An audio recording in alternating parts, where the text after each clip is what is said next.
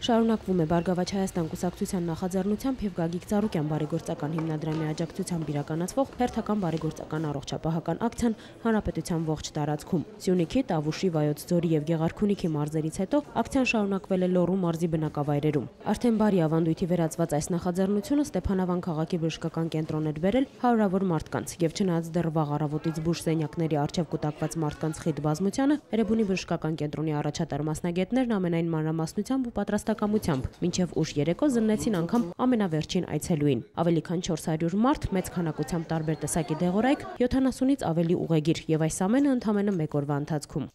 Վանաձորը Լոռու մարզի հաջորդ քաղաքն է, ուր այցելում են Էրեբունի բժշկական կենտրոնի 12 առաջատար մասնագետները։ Մարդկանց հոսքը չէր դադարում մինչև ուշ երեկո։ Ավելի քան 1000 հիվանդ մեկ օրվա ընթացքում անվճար բուժզննում անցան, տեղում ստանալով համապատասխան ախտորոշումն ու դեղորայքը։ 200-ից ավելի հիվանդ էլ, ովքեր ստացիոնար կամ ամբուլատոր բուժման կարիք ունեին, ուղեգրվեցին Երևան առավել մանրամասն անվճար հետազոտություն անցնելու, իսկ անհրաժեշտության դեպքում նաև վիրահատվելու նպատակով։ Սահմանամերձ Տաշիր քաղաքի բնակիչների համար եւս այս ակցիան խիստ անհրաժեշտ էր ու սպասված։ Տեղաբնակների խոսքերով մարզերում մի շարք մասնագետների պակաս կա, իսկ Երևան հասնելու հնարավորություն էլ ոչ բոլորն ունեն։ Մեծից մինչև փոքր ավելի քան 400 հիվանդ հենց տեղում հնարավորություն ստացան իրենց գանգատները բժիշկներին ներկայացնելու, ինչպես նաև ախտորոշում, դեղորայք եւ 60-ից ավելի ուղեգրեր ստանալու։